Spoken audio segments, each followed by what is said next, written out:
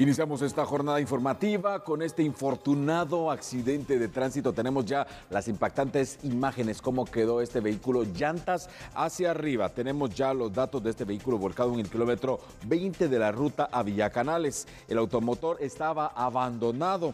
En el punto, las placas del vehículo son P615GGC. No se sabe absolutamente nada de las personas que iban dentro del mismo, qué fue lo que sucedió, qué fue lo que provocó, no se tiene ningún dato, no hay cámaras de videovigilancia en los alrededores. Lo que sí se sabe es que tremenda sorpresa se llevaron los vecinos del área del lugar al encontrarse esta mañana, esta madrugada, este vehículo con las llantas hacia arriba. Ya las investigaciones han iniciado, se cree de manera preliminar, lo cual no es precisamente la información oficial, que al momento de tener este accidente de tránsito, alguna persona trasladó a un centro hospitalario a las personas que iban dentro de este automotor que quedó llantas para arriba. Es un vehículo tipo, tipo sedán de modelo reciente, Diana, y podemos observar de manera impactante cómo pudo quedar con las llantas hacia arriba. Se cree también básicamente que pudo haber sido un factor, pues la velocidad, el alto, pues la alta velocidad, lo que provoca que se pierda el control y que quede de esta manera impresionante.